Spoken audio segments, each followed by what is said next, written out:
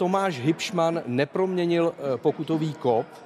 Eh, Mohl překonat Pavla Zavadila eh, v tom, že by byl nejstarším střelcem na naší ligové scéně v historii. Pavel Zavadil 41 let a 3 měsíce a Tomáš Hipšman ve chvíli tady té penalty měl přesně 41 a půl roku. Jo? O tři měsíce byl ještě starší, ale ani teď to nevyšlo.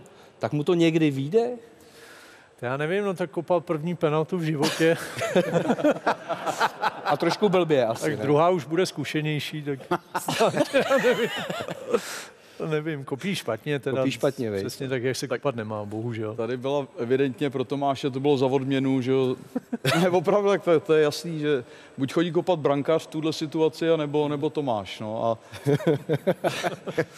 já ho znám, hrozně bych mu to přál, prostě Jo, kopí jo. špatně a, a prostě není to střelec, eh, měl jiný přednosti a má a klobouk dolů k jeho věku, v, v jaký hraje fazóně a, a co ještě všechno umí, ale prostě exekutor penal to Ne. evidentně nebude. A on odehrál 328 ligových zápasů na naší scéně a dal pět gólů. Čili ta statistika jako nevypadá úplně příznivě, že by se mohl dočkat. Ale dal nedávno dal gol, No ne? právě, on- ne, on takhle, on, on teď v, té, v posledních pěti letech dá vždycky jeden gól za rok. Jo. A letos ještě nedal, takže zase tahle statistika tomu nahrává. Že by měl být trpělivý. Karle, Ano, trpělivý. že jo? Oni ho pustí ještě na penaltu. No. Já mu to moc přeju, ale... Myslíš? Já mu to moc přeju, ale my máme Pepu Jindřiška a tak tam mu to přeju o trošku víc, jako no, aby měl ten, ten rekord.